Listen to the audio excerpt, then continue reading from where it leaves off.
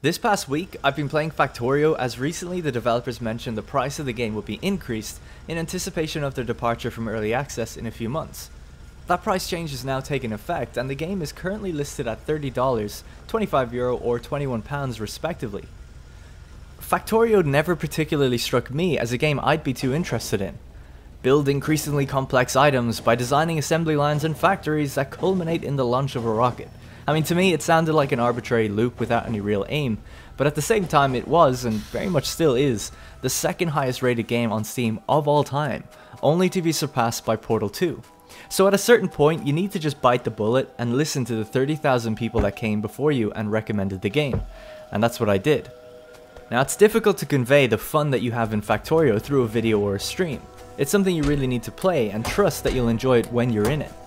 For this reason, I won't simply take you on a tour of what I've achieved so far, as showing you something that I'm actually quite proud of won't give you any real satisfaction.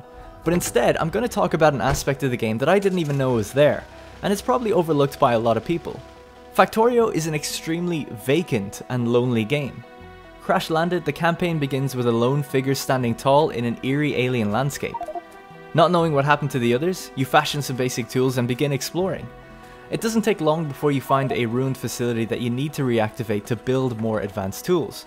Eventually you build radars that pick up a signal and let you know that you're not alone. However, the signal is located 200 kilometers away, so you need to fashion a vehicle to take you there. When you arrive at the location, everyone is already dead from the natives' attacks. As you create pollution, the natives become increasingly hostile. This in turn makes you feel like the bad guy, and at least for me, made me feel a little bit guilty. I'm the one creating factories, building machines, and polluting the landscape, and they're the ones just trying to defend it. Now don't get me wrong, Factorio's story isn't much more than a few console messages on the bottom left of your screen, but it's the atmosphere and the mood of the game that has me enamored with it. The steampunk art style is extremely dark and realistic looking with gears and levers pulling and pushing items around. Moss covered railways and junk metal litter abandoned outposts, and alien bodies remain there for a long time as they decompose, reminding you of their struggle against your machines. Now some of you might think that this doesn't make a difference to the game, after all it's a game about intricate factory design and transportation of goods and materials, which it is. But for me, if Factorio was like cartoonish and aesthetic, upbeat and lighthearted and lively, it probably wouldn't hold my attention. It's because I'm alone in a mysterious world and it's my machines causing chaos that makes me want to keep playing. I eventually want to find survivors and find out what happened, at least in the campaign. Now I'm not sure if the developers will continue the campaign and add more when 1.0 releases in a few months, but for me, I think they have huge potential to create an amazing tale in the world they've built. Either way, I did end up getting hooked on the core gameplay, so I started up a sandbox game and have around 10 hours in that now. The game essentially revolves around your technology tree. It can take a while to even get technology research going, as it requires you to refine materials and combine them to create different science packs. Now, science packs are shoved into science buildings and fuel your technology research, and over time, you'll unlock and discover new ways to make more complex science packs to research more complex technologies. As you uncover new resources and locations that are miles apart, you can create railway networks to transport goods to and from those areas. So a simple one I have going is an iron ore gathering facility that loads up ore onto a train, takes it to a furnace that processes the ore and feeds it back into my main factory, where the iron plates are then turned into a whole bunch of different goods. As I mentioned, the satisfaction comes from building these things yourself. Remember, everything you see here that isn't nature was placed down by me.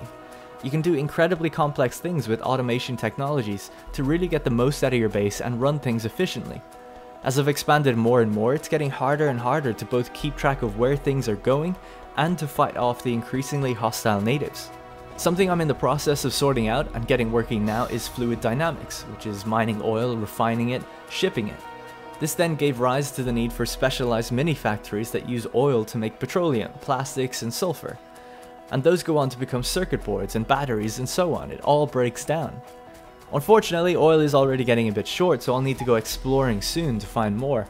And then there's uranium and nuclear power, which I haven't even started on yet. So the game has a lot of content to offer in a very engaging way. Unlike most builder games and things of this nature, you're never just waiting around in Factorio for things to be made. It's all about economies of scale to get things done quicker and more efficiently, but you're always needed somewhere and often you can't get there fast enough before a machine needs to be refitted or refueled.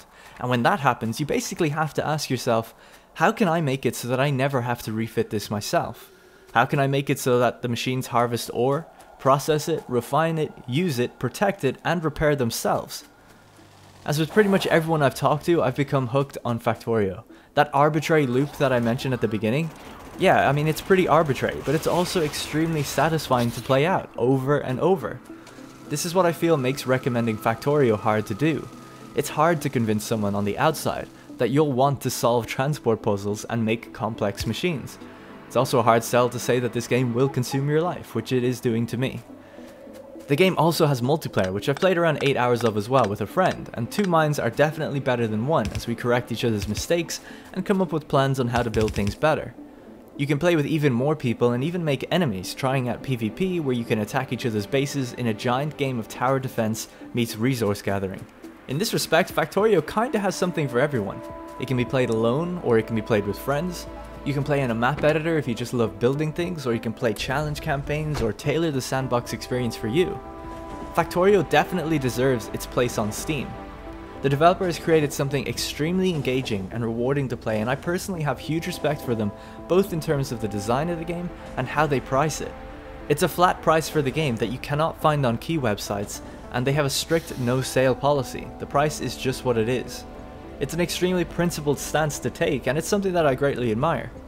So that's it for this short video on Factorio. When 1.0 releases, I'd love to cover it and do a review potentially for those who still want to wait before giving in to the inevitable.